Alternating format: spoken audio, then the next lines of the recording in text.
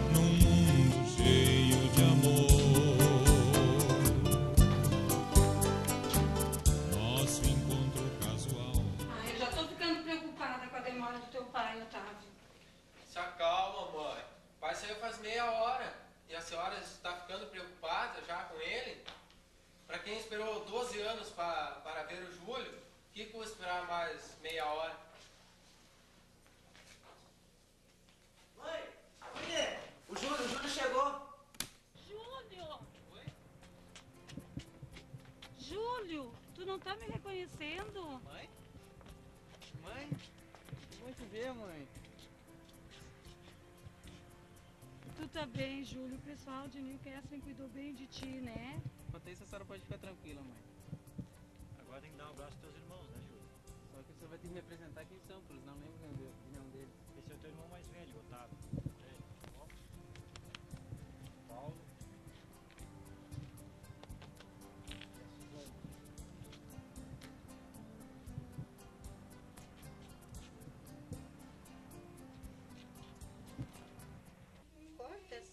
Depois a mãe te dá mais uma pra te cortar. Bom dia. Bom dia. Trouxe todas as coisas que eu te pedi do Caí Maria de Fátima. Sim, mãe, trouxe. Pode ver. Ô, Rita, tu nem sabe o que tá acontecendo lá no Caí. O que é? O circo pegou fogo por lá. Ninguém ajudou a apagar e algum bicho morreu, Maria de Fátima. Ai, sua besta. Eu falei que o circo pegou fogo no sentido figurado, entendeu?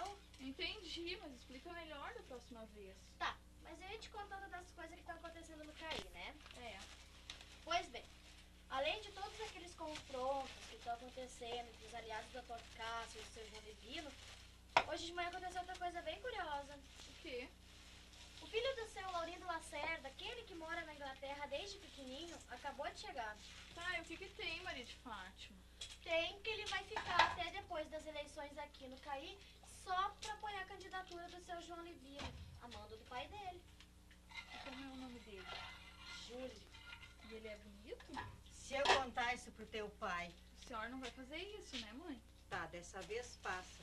Só que tu tem que ir correndo até o armazém, já que a tua irmã pensa mais na vida dos outros que na dela mesma e acaba esquecendo da metade da comida. Ah, mãe! Quieta, Maria de Fátima. Ah, e o que que eu tenho que comprar, mãe? Vai até no armazém e compra arroz, sal, vinagre, açúcar e não esquece da sacola. Tá bom, mãe. Bom, agora que eu já conheço a minha casa, vou dar uma volta pela cidade. Paulo, acompanhe seu irmão. Tô sem tempo agora. Mas fica tranquilo. Eu sei me cuidar muito bem, mais dessa. Mas tu pode se perder, meu filho. Sou mais criança, pai. Deixa ele ir, Laurindo. Nosso filho já sabe se cuidar. Mas não demora, Júlio. Esqueceu que eu fui criado na Inglaterra, mãe? Tchau. Te Tchau. cuida, hein? Certo, mãe?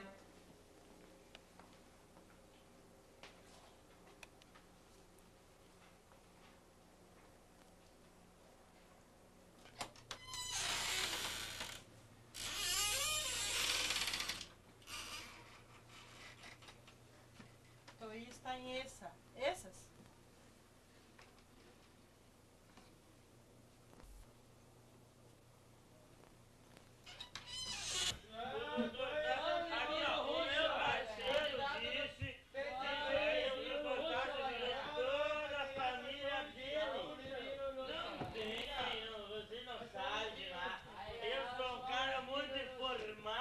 Bom dia. O senhor sabe o que está acontecendo aí dentro? Só pode ser um comício político. Comício político? É, esse daí é do candidato João Libino, do Mas tem outro candidato. Sim, tem o doutor Bruno Cássio. Mas você não conhece nenhum candidato. Nem o nosso atual prefeito, que é a doutora Buísio. É que. Que que foi? Eu não vi nada com ela. Vou te ensinar a mexer com moças indefesas, Não, rapaz. palhaço, eu te pego.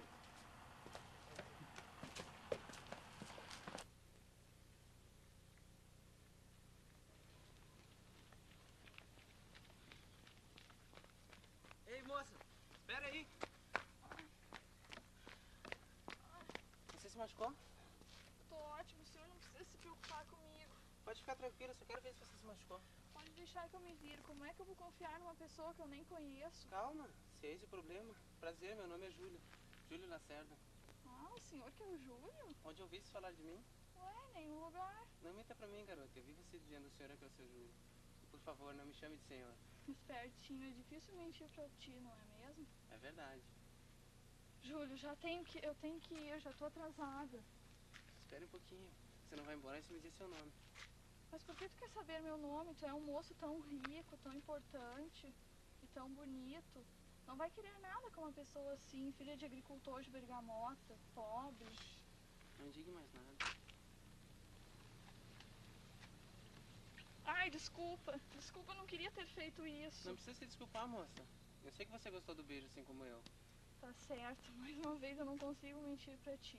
É verdade. Dessa vez eu vi que você estava mentindo pelos seus olhos. Meus olhos? Sim, eles estavam brilhantes e apaixonados. Agora eu tenho que ir, Júlio. Você Ai, não vai embora obrigada. antes de me dizer seu nome. Tá bom, meu nome é Rita. Você tem sobrenome? Claro que tenho, né? A Zambuja. Meu nome completo é Rita de Caça Zambuja. Ah, tem Cássia no meio. Que belo nome, Rita. Ih, eu acho que já é quase meio-dia. É hoje que eu levo uma surra da mãe. Ué?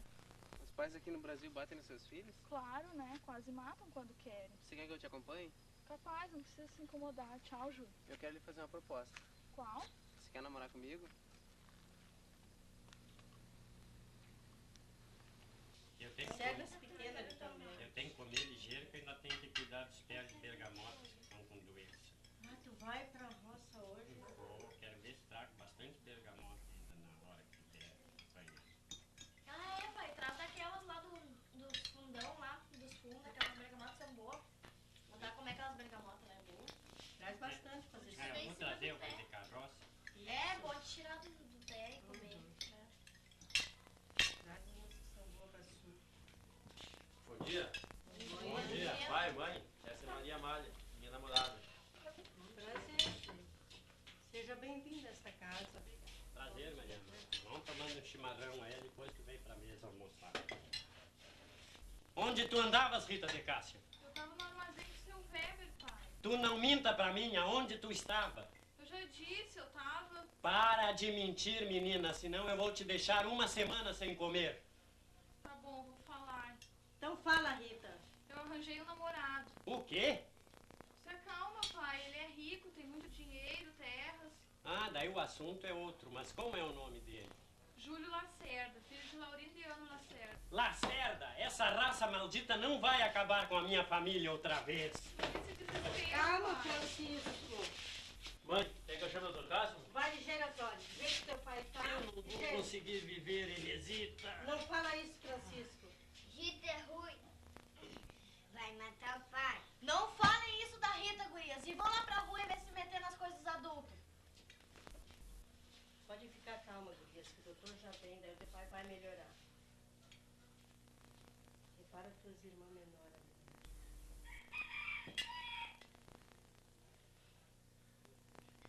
Seu Laurindo, é verdade que você tá cheio de terras lá no Chapatão? Não mente pro padre, hein? Que isso, Padre Afonso? Eu só tenho alguns pomares de bergamota. que correspondem a 200 hectares de terra, além de uma serraria em Porto Alegre.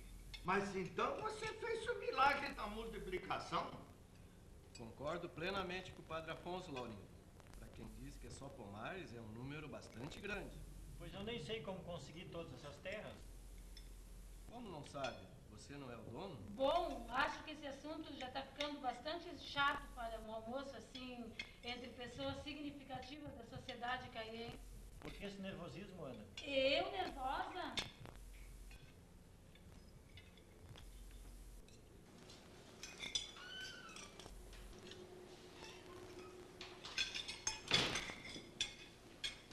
Bom dia. Bom dia, bom dia. Ô meu filho, que demora! Eu achei que tu tinha se perdido. Eu já ia avisar o delegado do teu sumiço. Não precisa se preocupar, mãe. Agora eu só quero saber aproveitar a minha liberdade aqui no Brasil. Tá certo, mas avisa da próxima vez, tá? Júlia, é melhor tu vir logo da mesa antes que a comida esfrie. Mas antes eu vou te apresentar o vigário da nossa comunidade, o padre Afonso Guinness. Júlio, seja bem-vindo na paróquia de São Sebastião. Obrigado, padre. E esse é o candidato do PTB, João. João Levino Russo? Aham, vocês já se conheciam? O importante é que eu sei que ele é seu João Libino Rusto, o candidato do PTB. E candidato oficial da família Lacerda. Como candidato oficial da família Lacerda? Exatamente isso. João Libino é o candidato que todos nós iremos apoiar nessas eleições de 47. Me desculpa, seu João Libino, mas eu não posso apoiar nenhum candidato, pois não conheço ninguém. Faz simplesmente quatro horas que estou na cidade. Com o Júlio não dá para insistir, Ana. Ele tem suas convicções. Foi criado um sistema diferente num país liberal. Com o Laurindo, dona. O Júlio é um rapaz muito diferente dos demais. Quando eu mostrar minha plataforma de governo, verá que é a melhor opção para o desenvolvimento do país. Olha, Júlio, eis a minha plataforma de governo. Muito obrigado, seu João Libino, mas eu não estou com cabeça para tratar de política agora. A gente vai ter muito tempo ainda para conversar sobre isso. Então até amanhã no almoço eleitoral que vai ser realizado aqui na sua casa. Aqui? Sim, aqui, Júlio. Tu não quer acabar com isso também, né? Claro que não, mãe. Pode confirmar no almoço que eu não vou atrapalhar em nada. Bem, já está ficando tarde e eu tenho mais casas para visitar. Terceiro, Padre Afonso, não vai ficar para a sobremesa? Muito obrigado. Já almocei demais que vocês. E o almoço estava muito bom, dona Gisele. Muito obrigada, Padre, eu gostaria que o senhor desse uma bênção para a nossa família. Louvado seja nosso Senhor Jesus. Para sempre seja louvado. Amém. Quer uma carona, padre?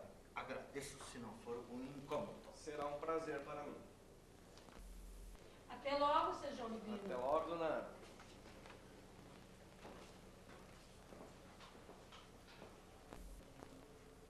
Então vamos, padre. É mais velho? Mais velho.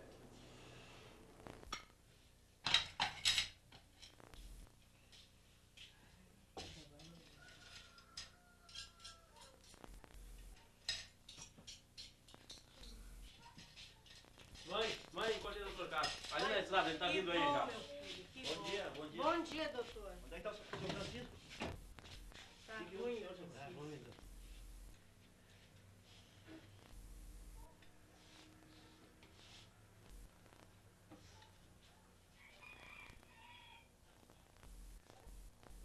Ah, Já, já está melhorando, seu Francisco.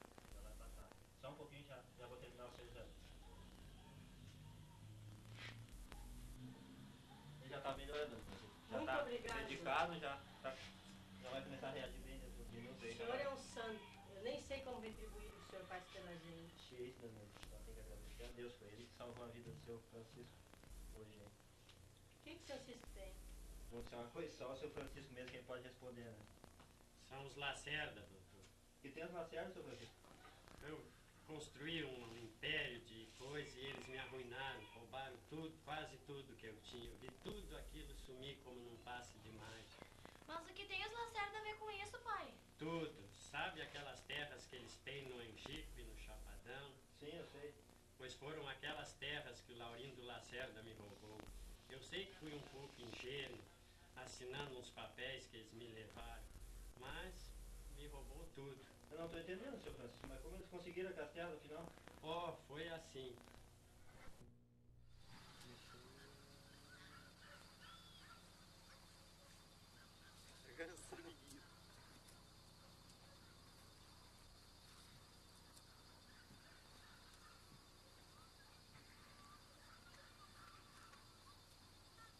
Boa tarde.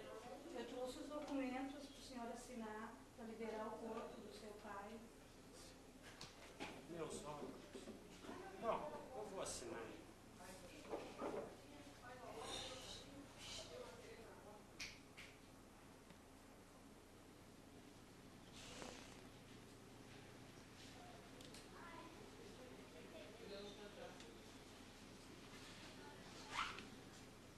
Ah, muito obrigado. Assim que ficar pronto, eu trago de volta. Ah, obrigado. Até logo. Bota lá na cabeça do menino.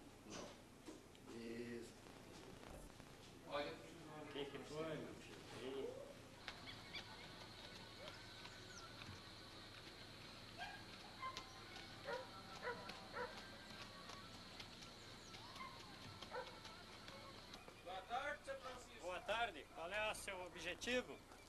Eu vim. Ah, mas eu vou tomar minhas providências. Isso aqui não tá certo. Não tá mesmo. E até.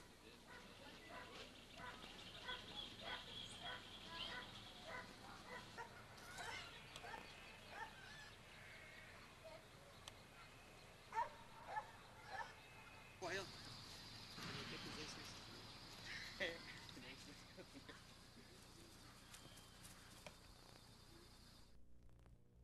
Certo, seu Francisco, mas o que fez o senhor lembrar de tudo isso? A minha filha Rita, ela veio dizer na minha frente que quer namorar um Lacerda. Qual, o Paulo? Não, o guri mais novo deles. Mas aquele não mora na Inglaterra? Não, ele chegou hoje, doutor. O nome dele é Júlio. O que é que tem a menina Rita a ver com o Lacerda? Ela veio me dizer que tá apaixonada pelo Lacerda. E tá mesmo, pai. Quieta, guria. Bom, já tá ficando tarde. Eu tenho que ir embora. Bom, o senhor vai almoçar com a gente, né, doutora? Não precisa se preocupar comigo, dona. Não, mas eu faço questão de almoçar com o homem que salvou a vida do meu marido e o futuro prefeito do Caí. Tá bom, eu aceito. Não vou lhe fazer satisfeito. Então, você pode sentar sem fazer possível. Como vai a Marlene e o Dunir, doutor Castro? Muito bem, obrigado. Sua esposa, dona Mercedes? Vai bem, trabalhando sempre.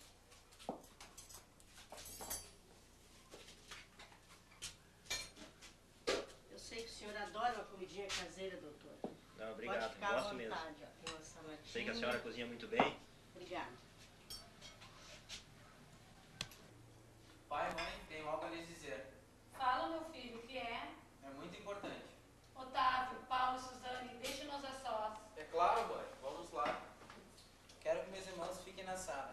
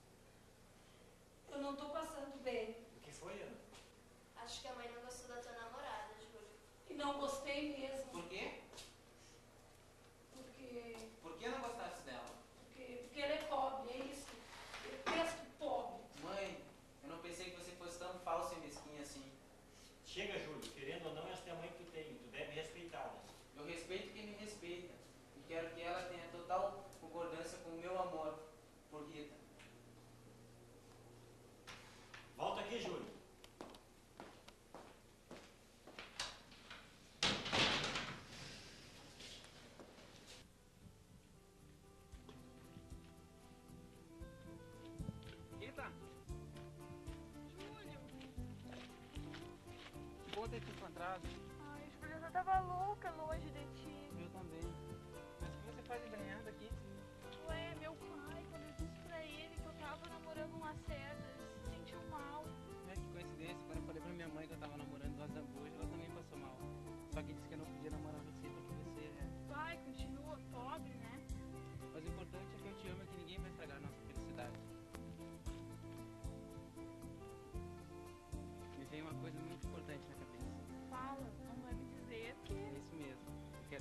sua mão em namoro. Não é assim que vocês fazem aqui no Brasil? É assim mesmo. Quero pedir a permissão para o seu Zambuja para namorar com a sua filha mais bela. Mas eu acho bom você desistir da ideia. Vai ser difícil o pai aceitar o nosso namoro. Pessimismo, Rita de Castro. Se seu pai me aceitar como seu namorado, você vai ter que me dar. Quê? Ah, eu tava esquecendo de te dizer. Amanhã a senhorita vai estar comigo lá na minha casa no almoço, tá? Se o meu pai deixar, eu vou. E se ele não deixar?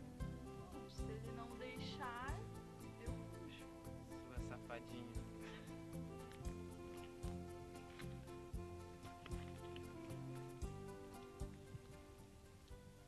Que demora da Rita, né, mãe?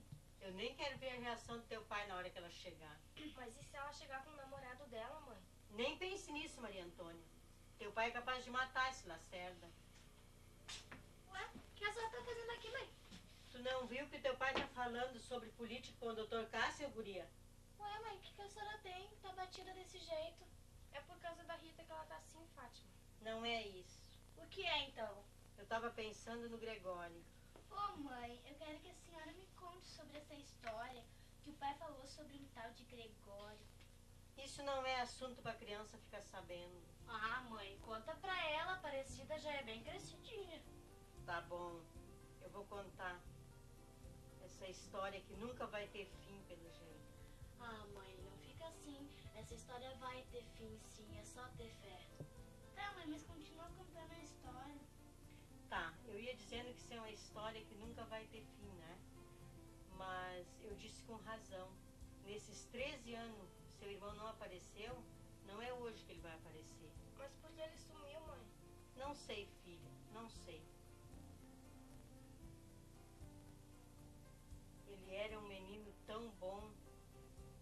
Amável, querido. Dos cinco filhos homens que eu tive, ele era o que menos trabalho dava. Quantos anos ele tinha quando ele sumiu, mãe? Ele tinha uns quatro anos. É isso mesmo, agora me lembrei. Hoje ele ia fazer 17 anos. Ele nasceu no dia 1 de setembro de 1930, no ano em que estourou a Revolução de 30, em que o doutor Alberto Barbosa, grande amigo de seu pai, foi nomeado como prefeito pelo doutor Getúlio Vargas.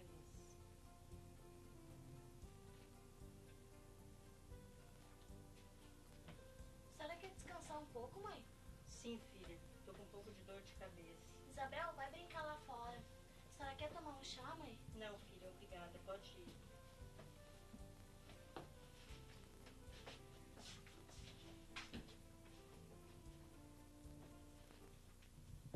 Francisco, fala com a Rita com calma, Francisco. Você jurou que não ia bater nela.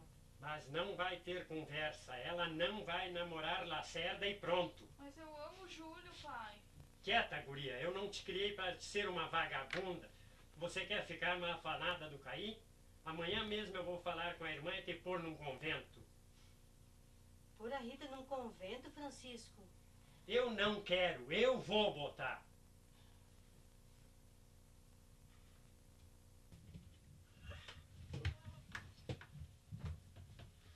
Ah, não chora, Mona. Rita, quem sabe tu vai ser mais feliz num convento que aqui nesse lugar, nessa cidade. Eu não vou para o convento, Aparecida, eu não vou.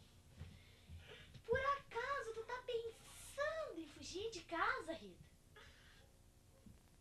Tô.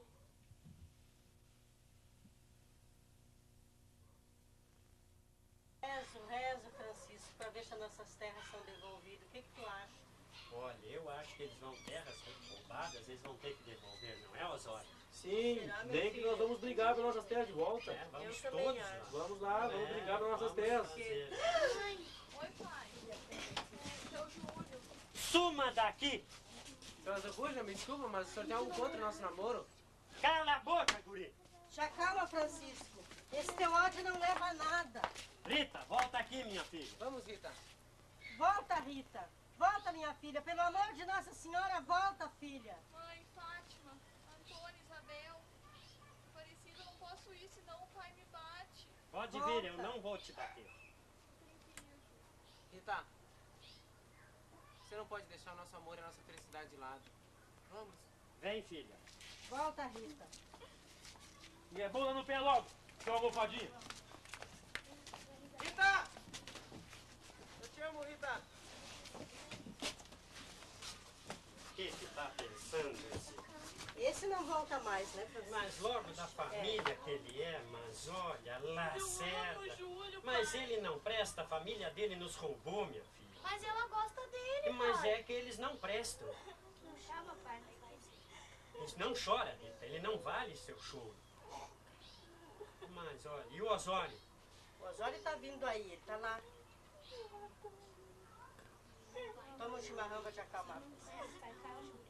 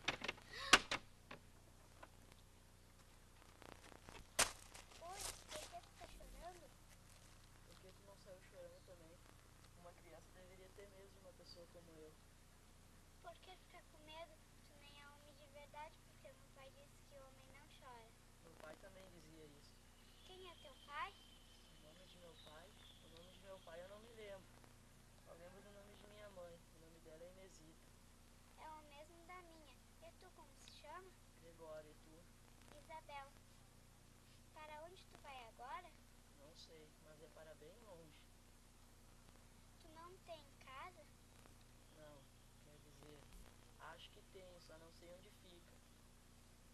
Tu não quer ir lá para a minha casa? A minha mãe vai gostar de ti. Tá bom, eu vou, Isa.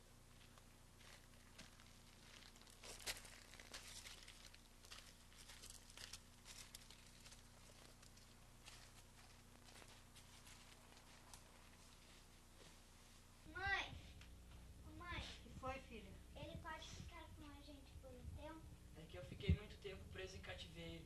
Perdi de vista minha família. Quem são seus pais? Eu não sei onde eles estão. Só sei que o nome de minha mãe é Inesita. Milagre. Milagre de Nossa Senhora. Ela devolveu meu filho Gregório. Mãe. Meu filho Gregório está de volta. Mãe. Milagre de Nossa Senhora. Mãe.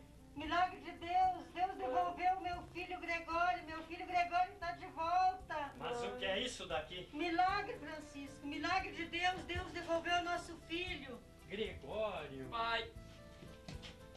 Por onde tu estavas, meu filho? Isso é uma longa história, pai. Conta, eu preciso saber. Foram os lacerdas. Os Lacerda, eu sabia. Vamos lá agora mesmo. Ir onde, Francisco? Traz todo mundo, mulher. Vamos, filhos. Mãe, eu vou buscar a Rita.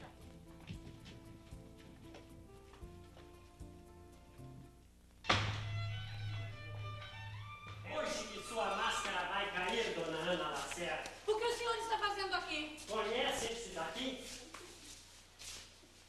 Eu não conheço e nunca vi esse rapaz na minha vida. Eu juro. Pare de mentir, dona Ana, e ouça o que ele tem a dizer. Fale, meu filho. Foi tu, eu tenho certeza. Vamos parar essa baboseira. É isso mesmo. Saiam daqui. Foi ela, pai. Foi ela que me deixou preso em cativeiro. Que história é essa, garoto? Seja mais objetivo. Foi ela que me prendeu em cativeiro. Quando eu vi ela planejando com alguns homens falsificar os, os documentos. Que documentos são esses? São os documentos que passam as teses de meu pai para ela. Eu tinha apenas 4 anos, mas eu me lembro muito bem disso. E agora ela vai me pagar por tudo que ela me fez. Passar esses 13 anos preso em cativeiro, pa- dopado com os remédios que a Alemão me dava. Então tinha mais gente envolvida? Não, a Alemão até que era gente boa. Foi ela que me ensinou a ler e escrever. Só vai ter que me acompanhar até a delegacia, dona Ana Lacerda. Eu não vou. Eu não sou ladra. Eu sou rica. Eu sou poderosa. Eu não vou. Vai deixar de fazer isso, né, pai?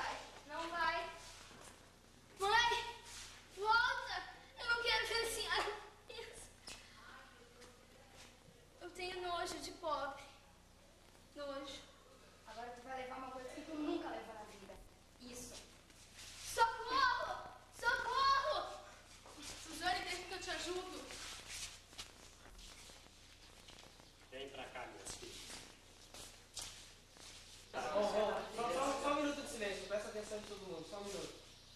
Eu quero pedir desculpa pelo constrangimento que todos passaram aqui, tá? E pedir desculpa ao senhor Zambuja, dizer para ele que isso foi um equívoco, né? E que ele vai ser totalmente remunerado sobre isso. Como é que tu vai garantir se o pai não falou nada? Deixa teu irmão fazer o que ele quiser, pra mim a vida acabou.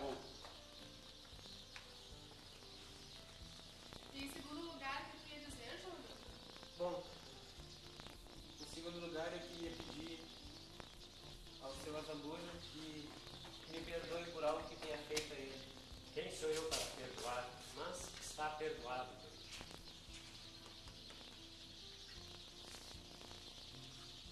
E em segundo lugar, eu queria pedir ao senhor Zambuja que permita que eu namore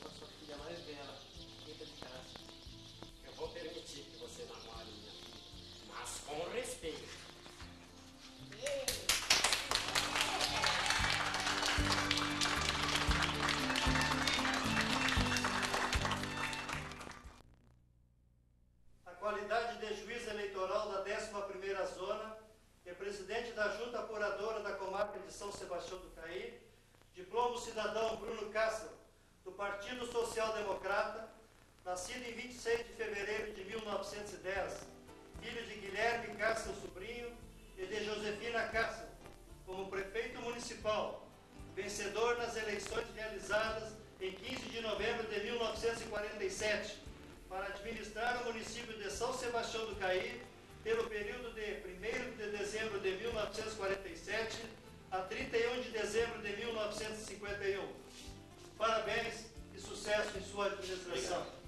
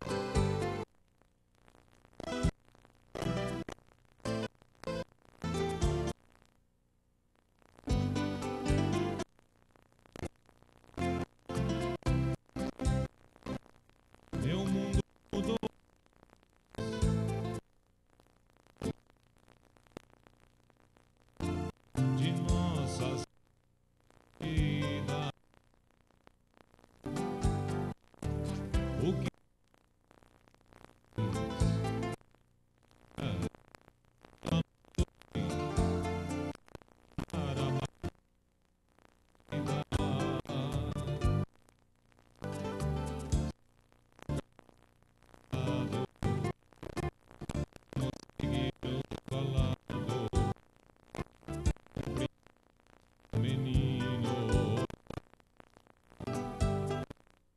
pois ao